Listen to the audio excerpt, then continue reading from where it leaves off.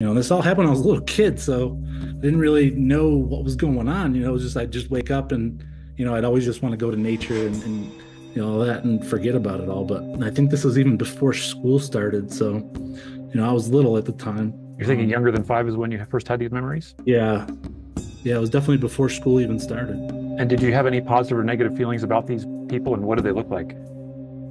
So it's it's these so the beings in the room. That what you mean? Yeah, yeah.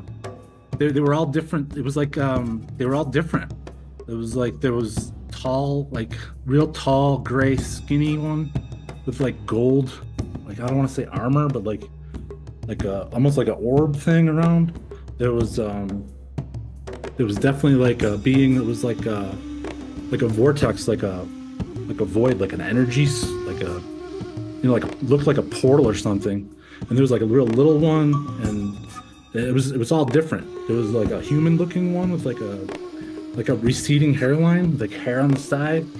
Um, yeah, it was it was it was all it's like every it was almost like they weren't they had nothing to do with one another except they were all sitting at the table.